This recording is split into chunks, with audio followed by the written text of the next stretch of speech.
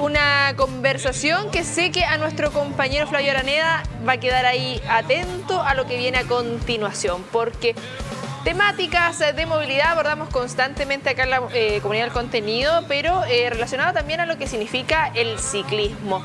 Lo que eh, tratamos de motivar también e ir desmitificando en torno a lo que significa salir con lluvia, salir con calor, ahora que ya empiezan a subir las temperaturas. Jaime Pasalazar desde Mascleta nos acompaña de manera presencial luego de tanto tiempo. Mucho tiempo que no nos encontramos en este, en este hermoso estudio nuevo para mí, así que encantado de volver presencialmente aquí a la Casa TVU. Oye, sí, Jaime, bueno, en diversas oportunidades tú nos has acompañado. Ahí en pandemia tuvimos un ciclo bien extenso también en torno a lo que significaba el medio de transporte, porque la bici salva vida, hemos estado también con esta campaña. Pero acá la tenemos, la flaca, ¿cómo se llama? Esa le pusimos linterna verde, por los colores, sí. Linterna verde, me encanta. Sí, porque empieza a hacer calor, sube las temperaturas, y eso estamos hablando Chuta, eh, ¿y cómo adapto también mi bicicleta y yo me preparo también para, no sé, ir al trabajo o dentro de mi transporte diario con la bicicleta cuando hace calor? Sí, mira, hemos hablado extensamente de que todas las bicicletas no sirven o no son las ideales para todas las cosas. La recomendación, la primera recomendación de la, de la tarde, si usted va a ocupar la bicicleta para trayectos ya más largos, por ejemplo, no sé, ir a la desembocadura o irse a trabajar de San Pedro a Concepción, Talcahuano a Concepción, eh, enfoque su bicicleta para lo que la va a ocupar. ¿Ya? Por ejemplo, si vamos a andar en ciudad, ocupar un neumático más liso, bien inflado. Si vamos a ir a, un terreno de gravilla, de asfalto, etcétera, quizás ocupar un neumático más ancho. Eh, protegernos del sol, súper importante en esta fecha. La radiación UV está muy, muy fuerte.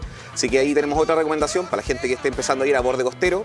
Eh, protegerse harto las extremidades, sobre todo los brazos, el cuello, de la radiación UV. Sí, bueno, Jaime, en general eh, lo que eh, señalamos también en temáticas de seguridad, porque sabemos lo fundamental también que es el casco en estos casos. Yo recuerdo siempre que tú dabas un ejemplo de, cómo estaba el casco de un incidente que sufriste ahí. Así es. Y ahí te diste cuenta y lograste dimensionar también lo que significa utilizar el casco.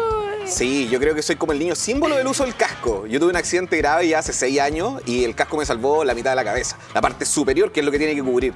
Así que el llamado hoy día, cuando me vine para acá al canal, eh, me vine por la ciclovía. Yo eh, vivo al lado de la, de la Laguna San Sebastián. Entonces mi trayecto es solo por ciclovía súper buena onda. Hoy en día ya se puede, hay que acomodarlo un poquito, pero se puede llegar, por ejemplo, de mi casa al canal solo por ciclovía. Eh, harta gente sin casco, es súper agradable, no, puedo mentir, es súper agradable sentir la brisa eh, a, la hora de la tarde en la cara, en el pelo, etcétera. Pero, eh, recomendación, pero así enfática, utilicen casco. Mi accidente fue solo a 20 kilómetros por hora, ¿ya? Y tuve fracturas maxilofaciales, nariz nueva, pómulo nuevo, así que el llamado sí o sí es a utilizar el casco independiente si vamos a salir lejos, si vamos a ir a la montaña o si vamos a andar en la ciudad. Sí, bueno, Jaime, acá tenemos... Eh, vamos para allá. Yo me muevo, le doy la espalda nomás acá. Eh, porque tú señalas que, claro, hay que adecuarla de acuerdo a lo que necesitemos. Las alforjas en estos momentos que ya tenemos una variedad, recuerdo eh, años atrás, ¿Mm? eh, no había tanto en el mercado. Y no, muy caro. Hoy en día tienes, ah, en esta parte me transformo en vendedor, hoy en día tiene para todos los bolsillos.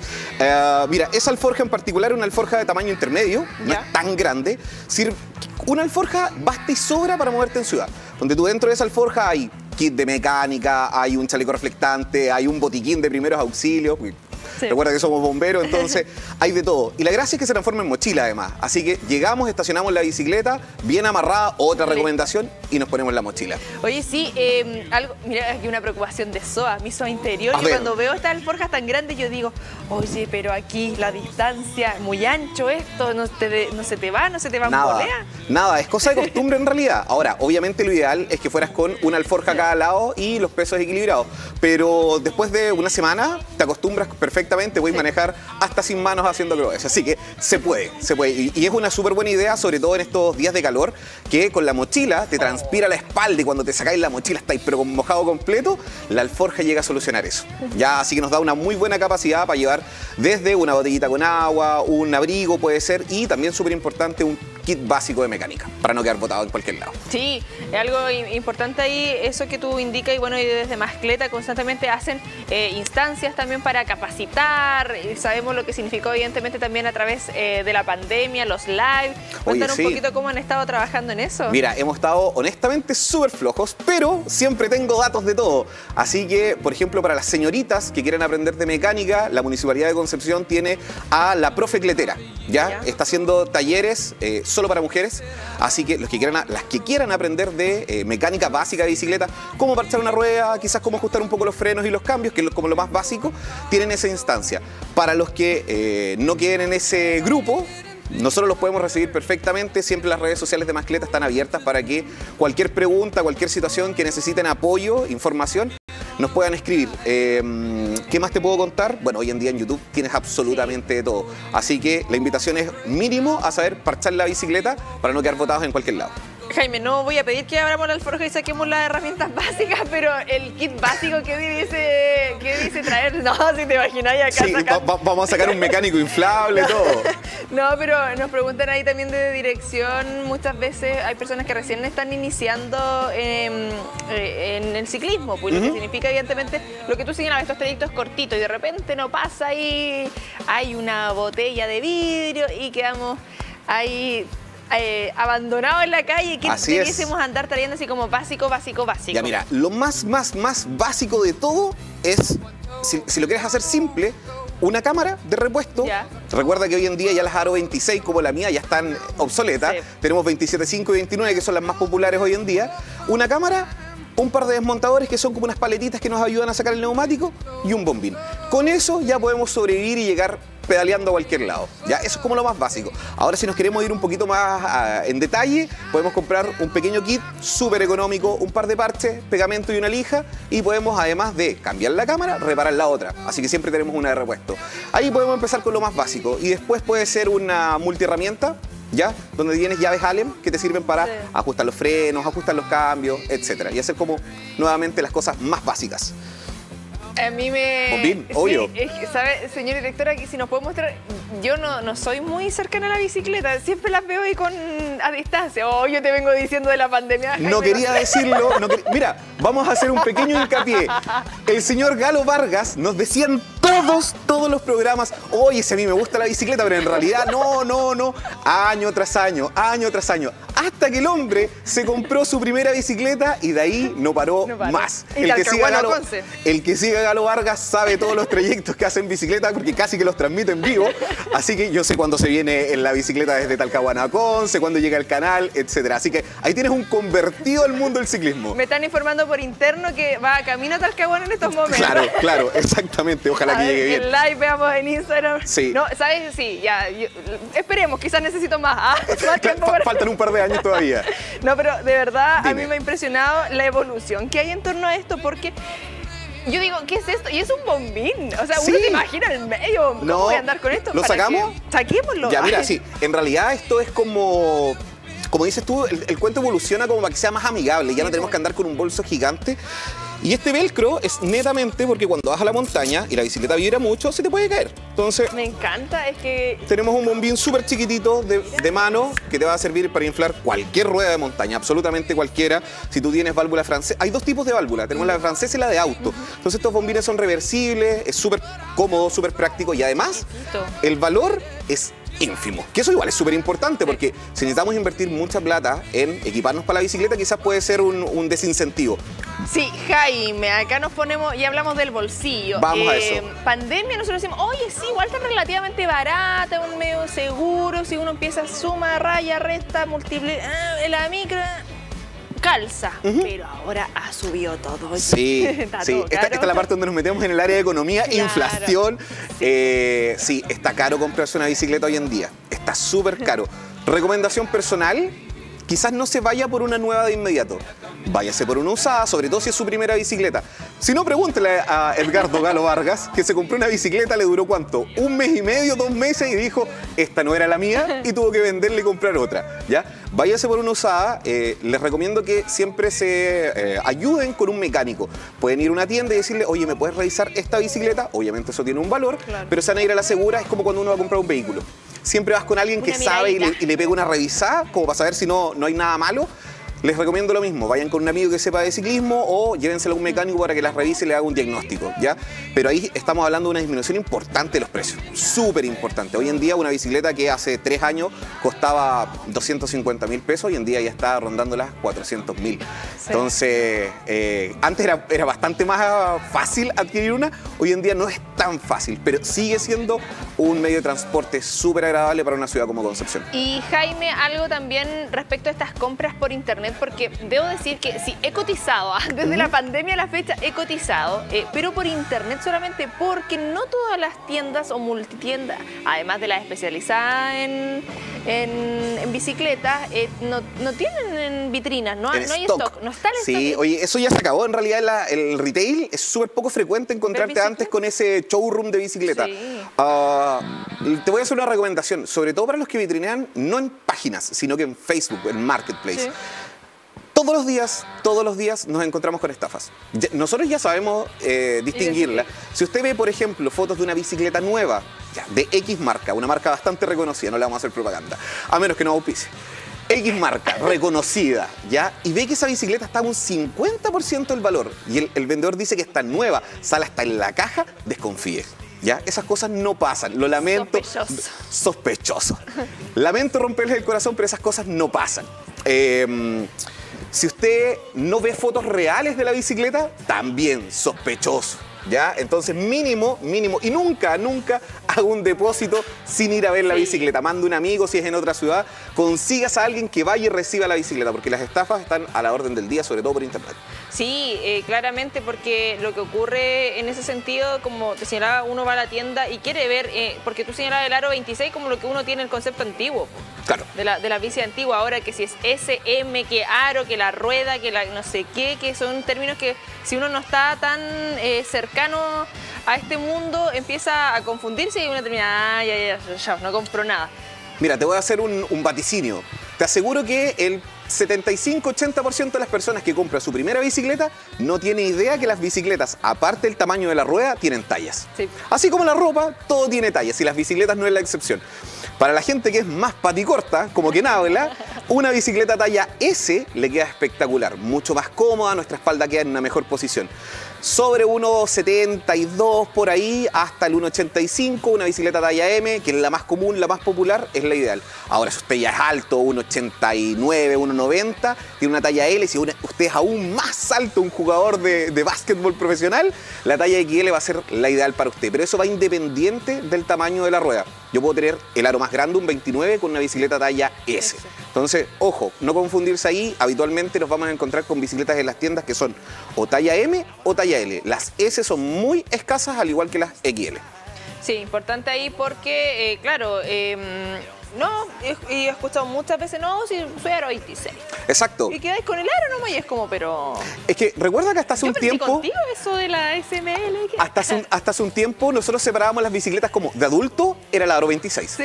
Y la de niño, ya de niñito grande, la Aro 24. Y así era niñito chico, la Aro 20. Entonces ese era, como que ese era nuestro estándar acá en Chile. Pero hoy en día como tenemos un montón de marcas de ciclismo, de, de- de venta de bicicleta, sí, tenemos que enfocarnos en, en el tema de las tallas. Ah, y lo otro, recuerda que la talla M y la talla L, o la- las tallas en general, dependiendo de la marca, se transforman en números.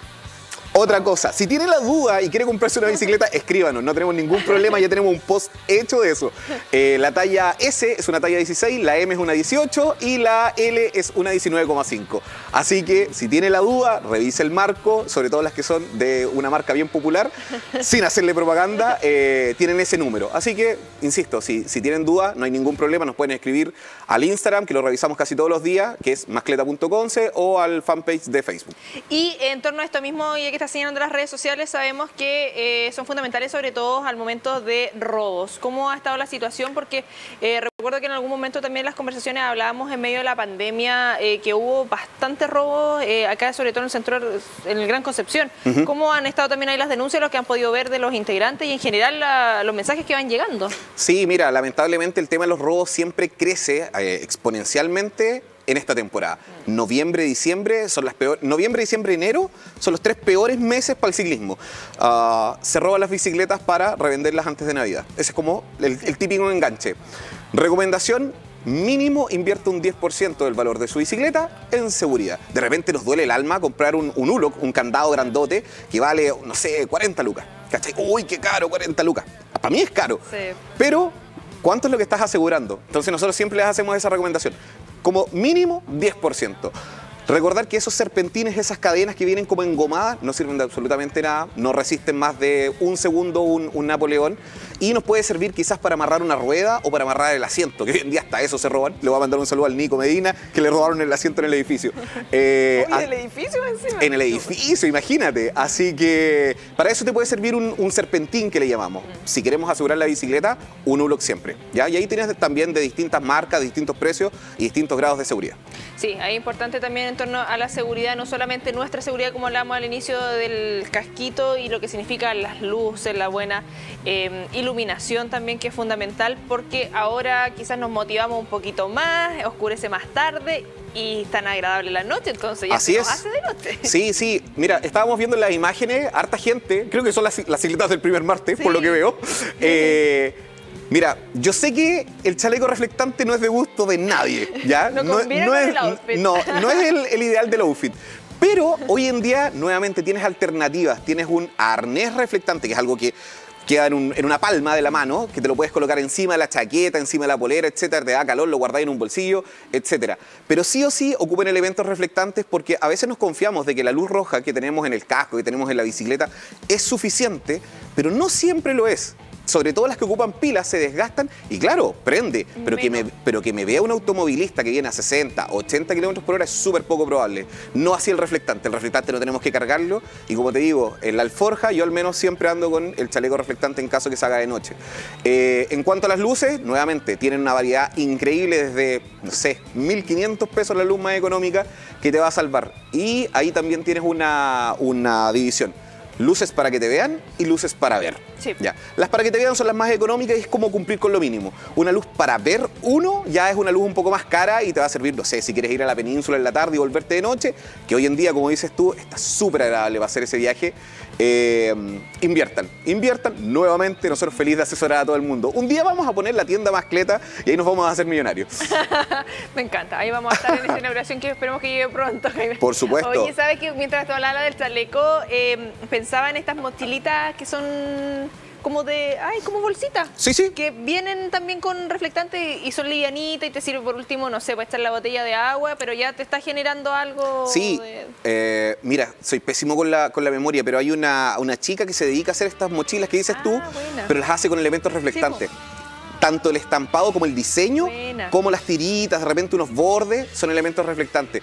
De repente nos vemos con muchos ciclistas que van con el chaleco, pero encima la mochila. Y te lo tapa Eh, todo. Te lo tapa casi completo. Entonces, ojo con eso. Eh, la ley en general te establece de que tú tienes que tener elementos reflectantes en tu vestimenta.